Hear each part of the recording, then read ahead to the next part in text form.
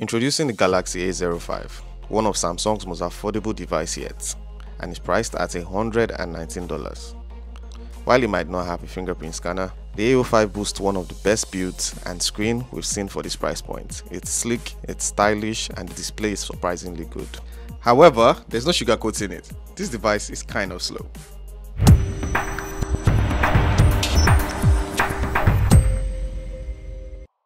So there's another version of the A05, which is the A05S. You get a triple camera setup of 50 megapixel, 2 megapixel macro, 2 megapixel depth. It comes with a different chipset, Snapdragon 680. You get 90 Hz refresh rate, and it comes for a price of $139. The key difference here is that the A05S comes with a triple camera setup, a better chipset, and a better refresh rate. For the display of the A05, it comes with a 6.7 inch LCD screen, it's a decent display with a resolution of 720p. The viewing experience is quite good for 720p. On the front, you'll notice a U-notch at the top of the screen, which houses the front camera.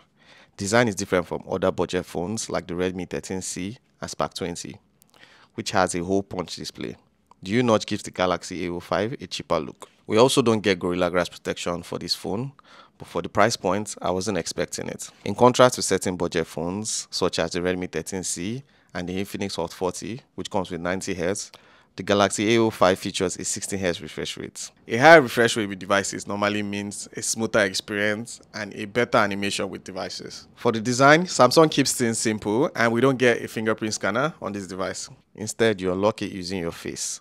However, the face unlock might not work perfectly, especially in the dark or if the phone isn't positioned right. The phone has a single speaker, so we're not getting stereo sound but it does a good job for your audio needs. You find the volume and power button on the right, conveniently placed for your easy access. For charging and connecting, the A05 uses a Type-C port. Plus, the phone still includes the old 3.5mm jack. So you get wired headphones without any fuss.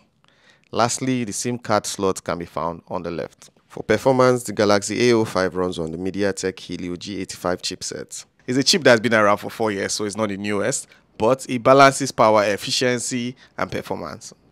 While it's good for regular tasks and games, it might struggle a bit with demanding apps. Also, loading this phone with a lot of apps or files will make it sluggish. If you're someone that loads a lot of app on your phone or you're a hoarder with files, you will struggle with this phone. For Antutu benchmark, the G85 scores 194K, putting it in an entry-level category. This score suggests decent performance for your daily use and moderate gaming.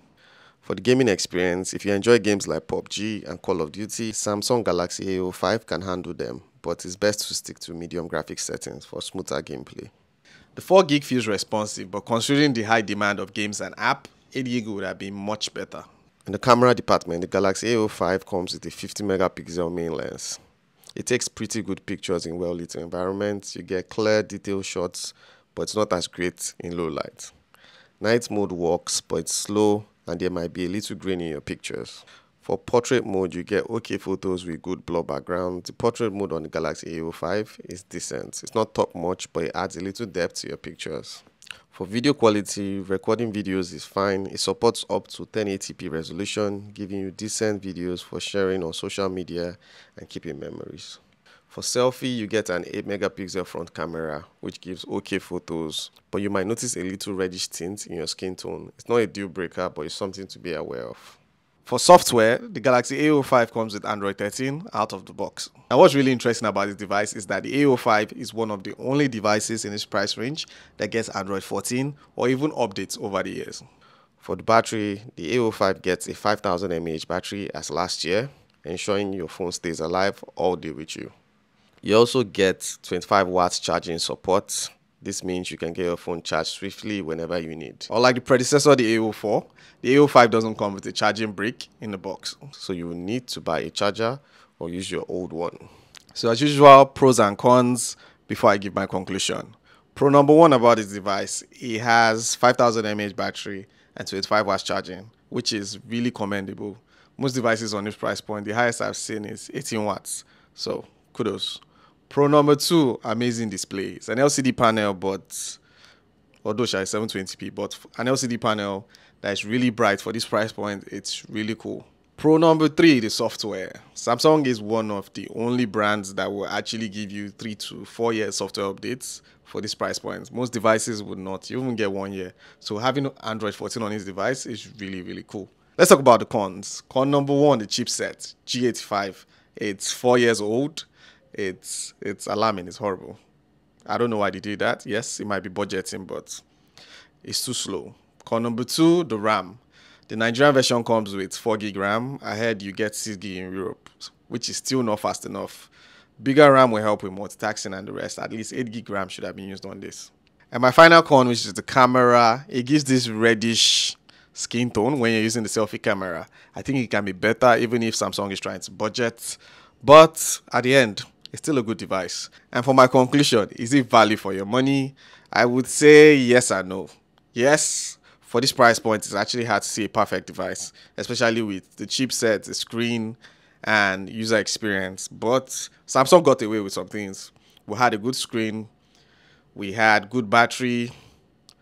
What else did we have? Good design too. So they just had a problem with the chipset and the RAM option. So the device is not bad. Will I actually recommend it for someone? Not sure, but it's something I can buy for myself.